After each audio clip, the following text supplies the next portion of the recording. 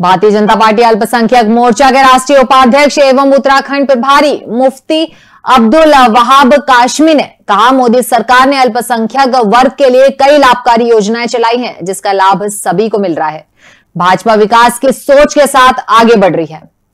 Bharatiya Janata party अल्पसंख्यक मोर्चा के राष्ट्रीय उपाध्यक्ष एवं उत्तराखंड प्रभारी मुफ्ती अब्दुल वहाब काश्मी का भाजपा कार्यकर्ताओं ने प्रदेश सह संयोजक इस्तकार अंसारी के साथ स्वागत किया। मुफ्ती अब्दुल वहाब काश्मी ने कहा कि देश के प्रधानमंत्री नरेंद्र मोदी के नेतृत्व में अल्पसंख्यक वर्ग के लिए कई लाभकारी योजनाएँ चल रही हैं, जिनका लाभ लाखों लोगों को मिल रहा है।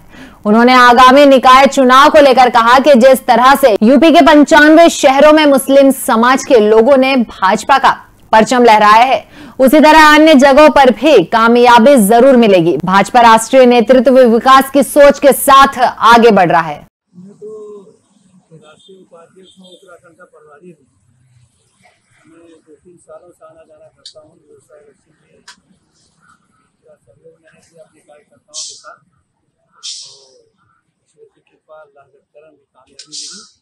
मौका दिया गया। लगभग पंचानबे मुसलमान मेयर वगैरह में कामयाब हुआ यहाँ भी दिया जाएगा और जहाँ तक पार्लियामेंट की बात है, हमारे यहाँ पाँच लोकसभा सीट है। पाँचों हमारे उम्मीदवार कामयाब हैं। पार्टी उनकी कारकर्दगी को देखेगी और जो उचित समझेगी वो करेगी।